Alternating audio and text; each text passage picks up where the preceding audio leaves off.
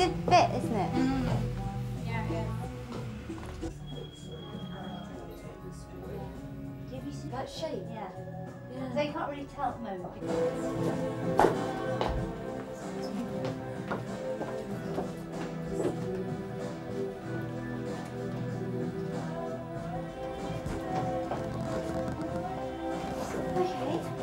You will see 30s, 40s, 50s inspired clothes, and that's probably going to go on for a little while. This collection maybe next season as well. It's so flattering and elegant, it makes everybody look absolutely stunning. So, um, yeah, and it, it, it is actually, I think Evita was a major influence there.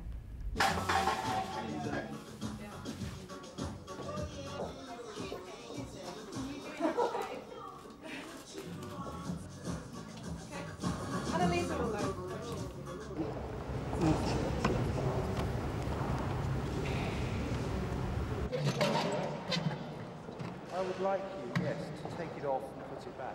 Okay.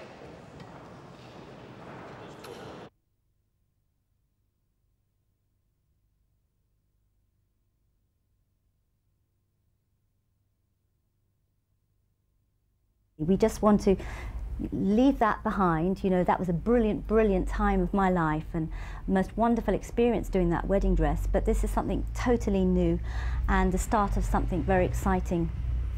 So I'm looking forward to the challenge.